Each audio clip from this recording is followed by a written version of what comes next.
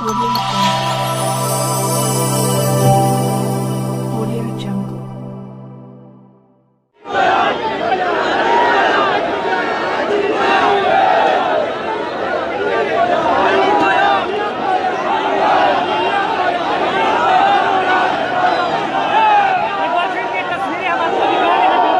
तस्वीरें आप देख रहे हैं, ये सेक्टेड जाने के लिए,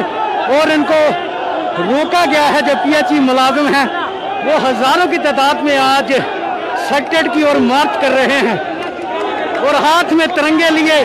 कहीं ना कहीं आज इनका सबर का जो बाँध है वो टूट गया है। देखिए, हज़ारों के मेरे पीछे दूर तक नज़र दुलाएँ तो पीछे भी एक काफिला भी चौक में से आ रहा है।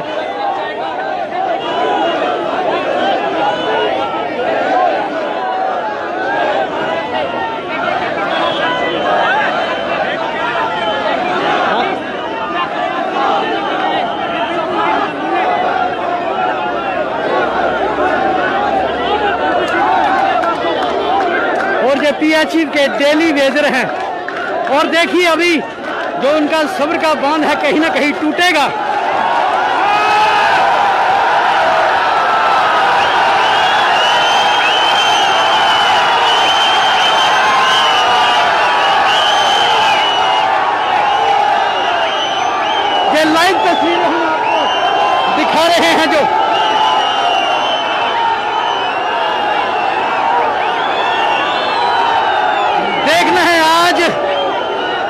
सब्र का बाँध है, वो टूटेगा। और कहीं ना कहीं आज, ये देखिए और ये बड़ी मशक्कत के बाद आज फिर लगता है जो मुलाजिम हैं अपनी हदों पार कर जाएँगे और आज फिर सचिवालय की ओर घेराव करेंगे।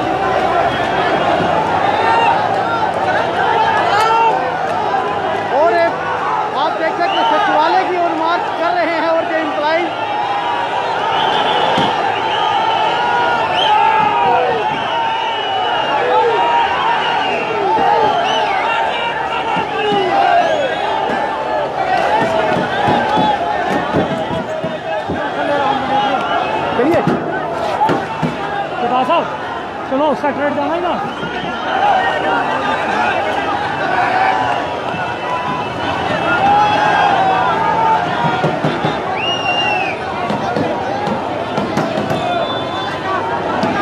देखेंगे जो पूरी सड़कों पे आपको जो पीएचई कर्मचारी ही नज़र आ रहे हैं, और जो इन्होंने उनका जो बैरिकेड तोड़कर जो सचिवालय की ओर बढ़ गए थे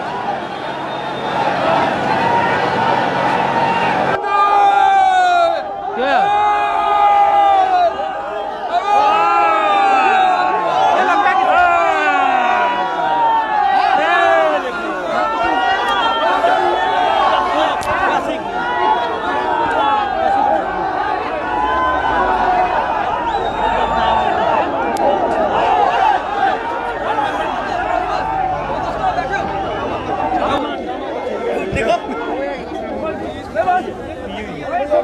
ਸਬਜ਼ੀ ਦੁਕਾਨ ਸਾਹਮਣੇ ਇਹਦੀ ਸਬਜ਼ੀ ਦੁਕਾਨ ਸਾਹਮਣੇ ਇਹਦੀ ਕੋਈ ਜਾਣਦਾ ਨਹੀਂ ਡਰਾਮੇ ਕਰਨ ਠੀਕ ਹੈ ਜੀ